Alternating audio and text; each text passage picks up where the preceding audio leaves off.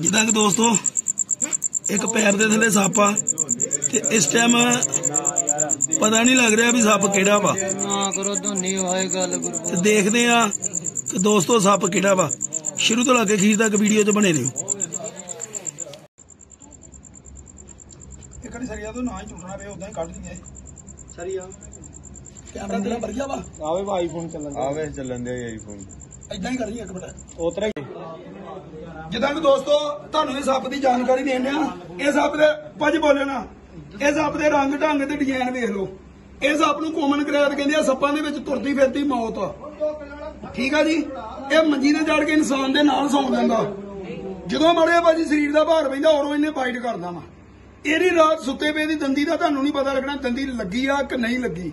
ਜਿਹੜੇ ਮੇਰੇ ਵੀਰ ਨੂੰ ਥੋੜਾ ਬਹੁਤਾ ਮੇਰੀਆਂ ਗੱਲਾਂ ਦਾ ਡਾਊਟ ਲੱਗਦਾ ਵਾ ਵੀਰ ਸਮਝਾਉਣ ਨਹੀਂ ਡਿਆ, ਵੀਰ ਡਰਾਉਣ ਡਿਆ ਵਾ। ਸਿਰਫ ਔਰ ਸਿਰਫ YouTube ਤੇ ਇਸ ਸੱਪ ਦਾ ਨਾਮ ਭਰ ਦੇ ਕੋਮਨ ਕਰੈਦ ਕਰਕੇ। ਪੂਰਾ ਭੈਣੇ ਸੱਪ ਦਾ ਬਾਇਓਡਾਟਾ ਜਿਹੜਾ ਬਾਹਰ ਨਿਕਲ ਜੂਗਾ। ਤੁਹਾਨੂੰ ਮੈਂ ਨਹੀਂ ਤੁਹਾਨੂੰ ਪੜ੍ਹੇ ਲਿਖੇ ਡਾਕਟਰ ਦੱਸਣਗੇ ਵੀ ਇਹ ਕੀ ਚੀਜ਼ ਆ।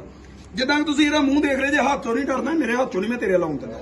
ਜਿੱਦਾਂ ਕਿ ਦੋਸਤੋ ਇਹਦਾ ਮੂੰਹ ਦੇਖ ਰਹੇ ਜੇ, ਇਹ ਪਿੰਕ ਰੰਗ ਦੀ ਇਹਦੀ ਜ਼ਬਾਨ ਹੁੰਦੀ ਆ ਦੇਖੋ। ਬਲੈਕ ਰੰਗ ਦਾ ਸੱਪ ਹੁੰਦਾ ਤੇ ਵਾਈਟ ਰੰਗ ਦੀਆਂ ਇਹਦੇ ਧਾਰੀਆਂ ਪੈਂਦੀਆਂ ਵਾ। ਇਹਦੇ 'ਚ ਇੱਕ ਨੀਰੋਟੌਕਸੀ ਨਾਮ ਦਾ ਜ਼ਹਿਰ ਆ।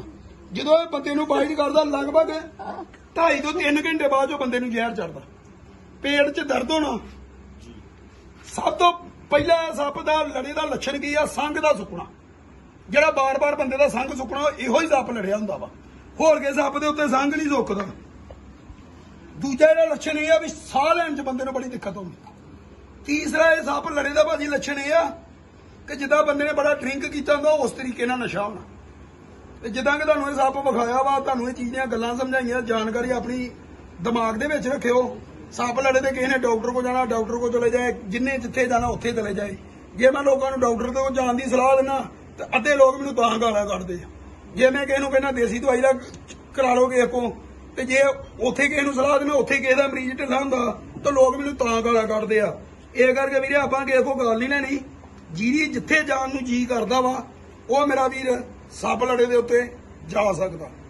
ਅਗਲੀ ਵੀਡੀਓ ਦੇ ਨਾਲ ਆਪ ਜੀ ਦੀ ਸੇਵਾ ਦੇ ਵਿੱਚ ਫੇਰ ਹਾਜ਼ਰ ਹੋਵਾਂਗੇ। ਜੈ ਸ਼ੰਕਰ ਜੈ ਨਾਗ ਦੇਵਤਾ। ਤੁਸੀਂ ਇਹ ਸੱਪ ਦੇਖ ਰਹੇ ਜੇ ਕਰੈਤ ਫੜਿਆ ਆ ਬੜਾ ਬਿਊਟੀਫੁਲ ਸੱਪ ਆ ਤੇ ਹੁਣ ਇਹ ਸੱਪ ਛੱਡਦਿਆਂ ਦੀ ਜਿਹੜੀ ਵੀਡੀਓ ਇਧਰ ਆਈ ਵੀਰ।